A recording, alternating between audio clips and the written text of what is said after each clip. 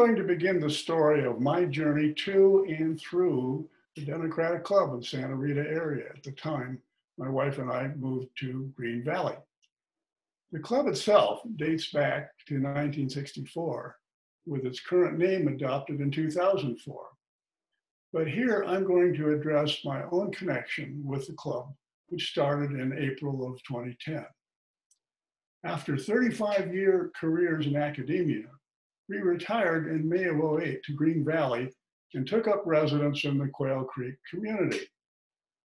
While we were, we were getting settled and getting acquainted with Green Valley, DCSRA was doing some important things. On April 14th of 2010, for example, uh, the board approved establishment of a headquarters and signed the contract for leasing space in the Continental Shopping Mall. In June of 2010, one of the activities of the grand opening of the headquarters was an afternoon of outdoor festivities in the mall's plaza. Congressman Gabby Giffords was a featured guest. I got to, I got to meet her. Um, we shook hands. She gave me her trademark dazzling, charming smile. And she looked up and said to me, and I quote, You look just like my husband, unquote. And I didn't know what to say to that because I didn't know then that her husband was Mark Kelly, the American astronaut. It has been said that Mark and I share the same barber or not.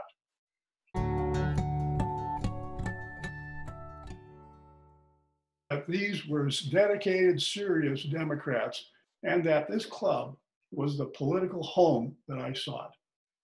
After conversations with Jane Wood, the president at the time, Ruth and I joined DCSRA. During the next few months, I attended monthly meetings and teamed up with other members on a program concerned with economic inequality. Then three things happened in fairly rapid succession. First, on January 23rd of 2011, I was asked to be an at-large member of the board. Uh, I had some real serious reservations about that because I had never really been involved with political stuff before. Second, I was then asked to be the secretary, again, over my objections. But I was placated with, and I quote, all you have to do is take notes. And then, third, I was asked to serve as vice president for programs. Now I was really freed because I didn't know any of the local political dignitaries. Because of some of my academic administrative work, I figured I could manage a committee and I could wing it. It turned out to be much easier than I thought.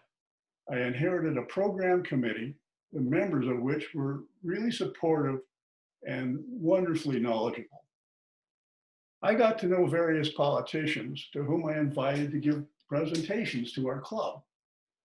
The job was made a lot easier by those VIPs who I was trying to get to do programs for us. Because you see, politicians are in the business of doing stand up routines and they expect to do that stuff. So making the ask was really easy.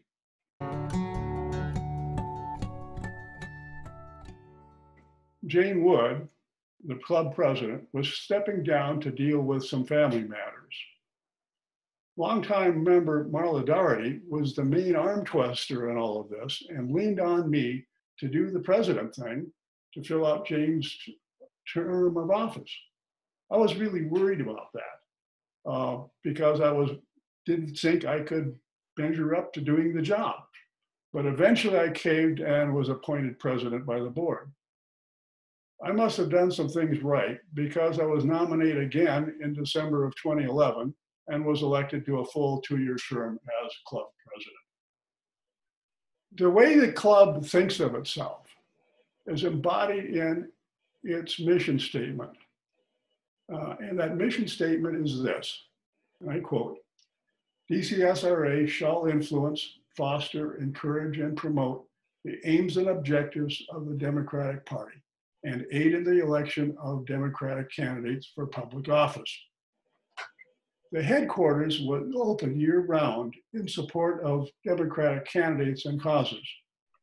We supported the coordinated campaign and we provided office space for field coordinators. We ran phone banks, we organized walks. We were the depository for candidate literature, things like brochures and yard signs. We carried our message to the broader community by participating in community events. And during campaign season, we lived and breathed get out the vote. So, what did I personally accomplish as club president? Well, the club voted to make the headquarters permanent. Uh, and that means that we needed money. So, fundraising was a high priority endeavor uh, just to keep the show going. Uh, we continued and expanded the yearly dinner and auction. Uh, another thing, we started the annual Friends of Headquarters mailing. Mm, we worked on increasing our social connectedness so we get in touch with our donors by having wine and cheese receptions following each of our monthly programs. And we launched the weekly email newsletters. Now we know that as the blast. In hindsight, the list is so short because of a lesson that I learned.